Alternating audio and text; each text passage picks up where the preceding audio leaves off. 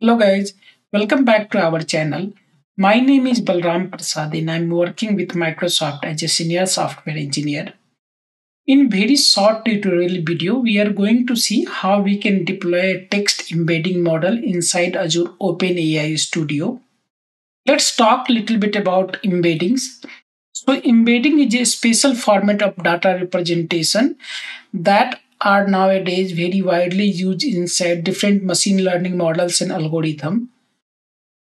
And also it is very widely used if you are going to build any co-pilots any chatbots and other things. So that embedding you need to use. If you wanted to find similarity between two texts then this help us for different things because it is a kind of dense representation of semantic meaning of the similar text right convert any text into embeddings, then we are going to store inside either Azure SQL database or Postgres, which uh, provide the storing of the vector vector fields or we can use azure ai search and other. In this video we are just going to deploy a embedding model inside azure openai studio.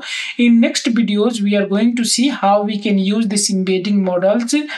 So right now we are into azure openai studio homepage Let's go to model catalog.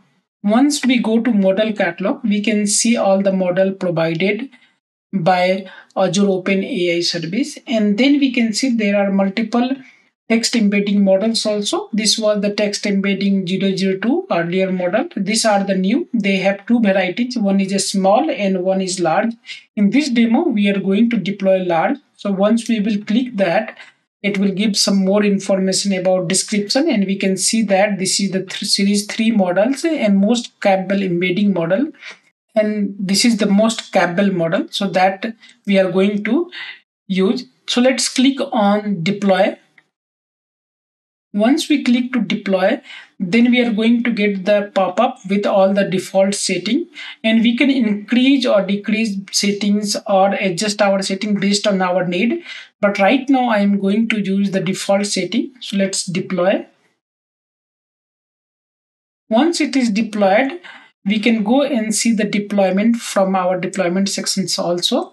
And here, if you are using this one from API or portal from Azure AI search, then you, if you wanted to increase the settings and other things, you can click on edit and then it will bring another pop-up and you can configure or reconfigure your limits and other things based on that.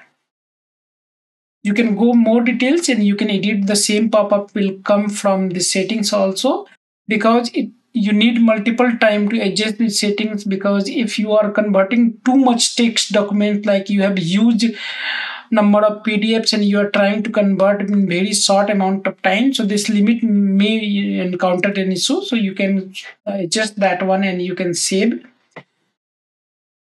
And also uh, depending upon how many times you are going to call, you are going to see the matrices are going to come.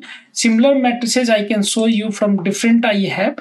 So if you see my DALL-E 3 deployment, which we used in another videos, so we can see how many requests came and how many requests per minute is coming. So we can see all the details.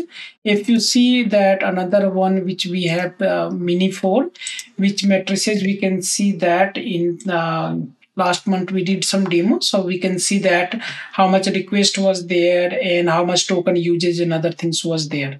So this is how we monitor that how much we are hitting the capacity and other things quota and then we can go to quota and increase that one. So this is what i wanted to show in this video and in next video we are going to use this model. So i hope you have liked this demo. If you do please share and subscribe and provide comments on the video so we can reach to more people. Thank you